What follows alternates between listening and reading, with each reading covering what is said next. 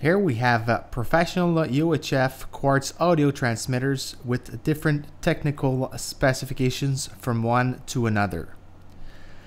This one has a uh, remote control uh, to activate and deactivate the transmitter remotely.